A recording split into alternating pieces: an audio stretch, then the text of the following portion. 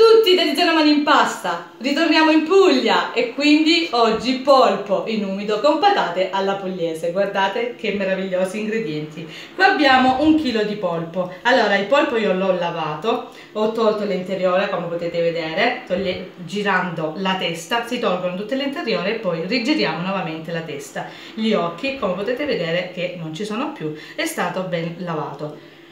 Allora, un consiglio, quando comprate il polpo vi consiglio di tenerlo almeno due giorni in congelatore, questo farà sì eh, di consentire una eh, cottura eh, bella, morbida, si scioglierà in bocca, ve lo garantisco. Poi, 800 g di patate, come potete vedere sono già nell'acqua perché poi le ho lavate, pelate e tagliate a pezzettoni. Pezzettoni mi raccomando devono essere così grandi perché alla cottura faranno una bella figura insieme al polpo che verrà tagliato a pezzetti a vostro gusto magari con la stessa misura. E si vedrà cioè si deve vedere la, la, la bellezza del piatto. Se si scioglie la patata non si vede più. Poi Qua abbiamo 4-5 eh, pomodori di quelli, questi sono pugliesi, però voi potete mettere quelli che volete e li ho tagliati a spicchi uno scalogno affettato, due foglie di alloro, peperoncino a pezzettini facoltativo ma potete mettere anche del pepe nero, poi prezzemolo e basilico che andremo a tritare dopo, un bicchiere di vino bianco e olio d'oliva.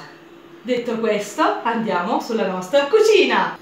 Come vedete io sto usando una pentola in terracotta, ma voi potete mettere la, la pentola che volete. Allora, diamo una bella erorata d'olio d'oliva.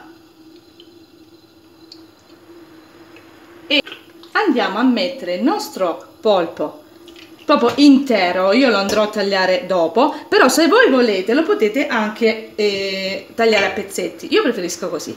Lo vado a chiudere con coperchio e andiamo a rosolare guardate che meraviglia. E ora andiamo a sfumare col vino bianco.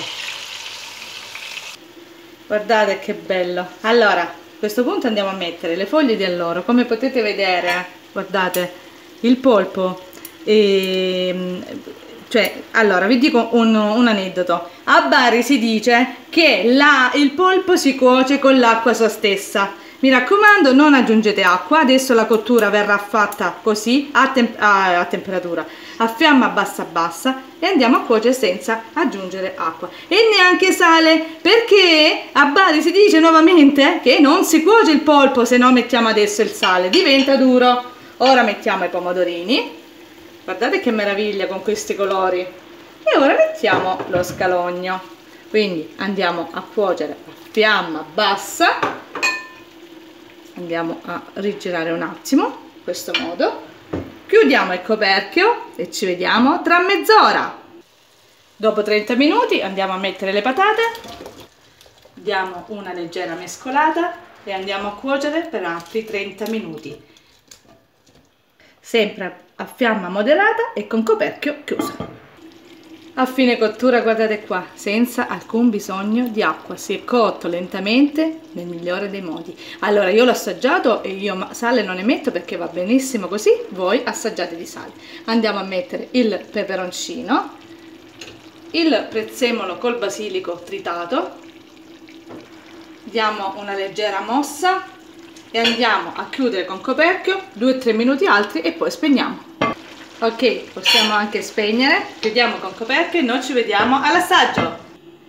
Sono pronta per questo meraviglioso assaggio guardate colori e sapori in un piatto pugliese.